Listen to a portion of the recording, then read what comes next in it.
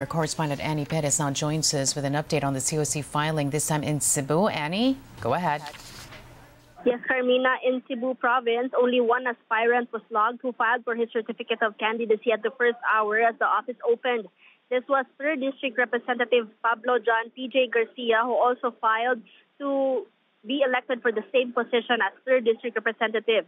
He was even present minutes before the office opened, and he was with his family and some of his supporters who waited outside the office, and he filed his uh, COC in, in, a couple of minutes, and not even um, for 30 minutes or so. After him, um, we got word from Comelec that there were no other aspirants that filed after uh, PJ Gar- Congressman PJ Garcia. Meanwhile, in Cebu City, the hallways were also empty as no one filed their COC for the first hour, hour and a half.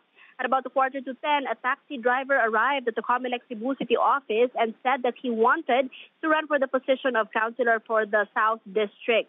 He was attended to, and there were no other aspirants that followed uh, just this morning. But according to a Comelec 7 regional director, Attorney Francisco Pobe, he said that there are already all systems go despite this small number of aspirants who filed their COCs today. He said that they prepared for two weeks, including contingency, contingency programs, activities, and all other uh, mechanisms in place to ensure a smooth and convenient experience for those who will be filing their certificates of candidacy. The security tight, especially at the Comelec Cebu City office. A portion of the Sergio Osmeña um, Avenue was closed off, uh, especially the, the road in front of the office, so that um, the supporters who will be joining those who will be filing their COCs, um, they will not be bothered by the traffic flow. Um, the, pol- the police was also present and they had a specific desk and they were detailed in the two offices of Comelec, both for North and South District, and they had a K9 unit with them. On the part of the local government unit, they have deployed their local disaster risk reduction and management teams as quick response to any untoward incident. Carmina in Cebu, it is a very big thing, um, politics, and those who will be running for the 2025 elections because it is also the vote-rich province. Last night, the Comelec closed their registration at 3 3,384,198 registered voters for Cebu Island alone, and this number includes highly urbanized cities. And that's the latest here in Cebu. Annie Perez, ABS-CBN News. Thanks a lot, Annie Perez. The ravage of Super Typhoon Julian, particularly in northern Luzon, the province of Ilocos Norte, now under a state of calamity because of this powerful cyclone. Randy Menor now joins us with the latest situation from there. Randy, over to you. Uh, yes, Carmina.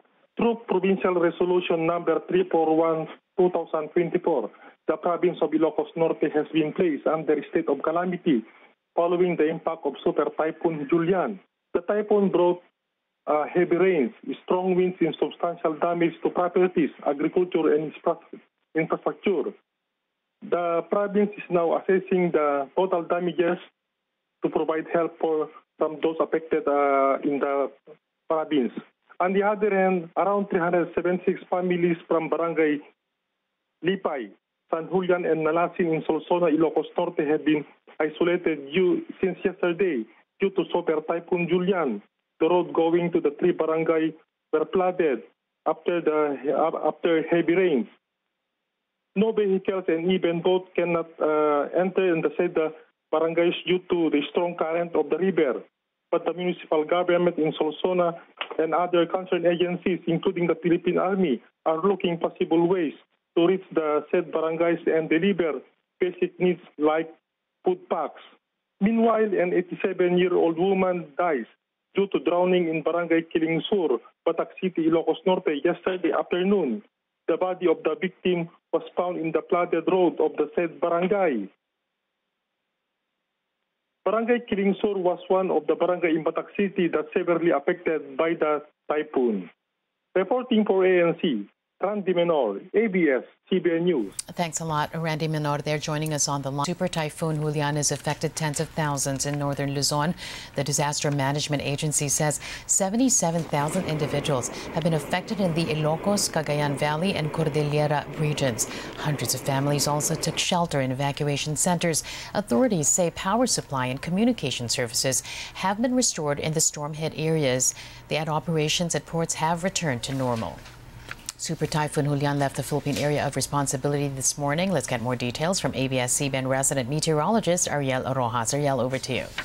Hi, good afternoon, Carmina. Tropical cyclone Julian intensified into a super typhoon early Tuesday morning and intensified further after leaving the Philippine area of responsibility at 9 a.m.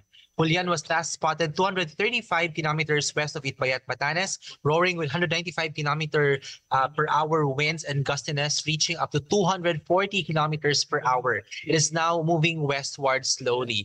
Due to the broadness of Julian's winds, tropical cyclone wind signal number 2 remains hoisted over Batanes, Babuyan Islands, northern Ilocos Norte, and northwestern mainland Cagayan. Signal number 1, meanwhile, is still up over the rest of Ilocos Norte and Cagayan, as well as Ilocos Sur, La Union, Pangasinan, Benguet, Ifugao, Mountain Province, Kalinga, Abra, Apayao, Isabela, Nueva Vizcaya, Quirino, and the northern portions of Aurora and Nueva Ecija. Super Typhoon Julian strong winds and intense rains will continue to batter northern Luzon this Tuesday with flooding and landslides remaining likely. The trough or extension of Julian will also bring gusty winds and passing rains over central and the southern Luzon, including Metro Manila. Julian may intensify further while recurving during its short excursion outside of the country. It will re-enter the PAR this Wednesday and make landfall over southwestern Taiwan. The rugged terrain of the island will weaken the disturbance into a severe tropical storm, which will be out of the PAR for good by Thursday. So far, no other weather disturbance is seen to affect the country for the remainder of the week. That's the latest on the weather. This is Ariel Rojas. Back to you, Carmina. Thanks a lot, Ariel Rojas there joining us live.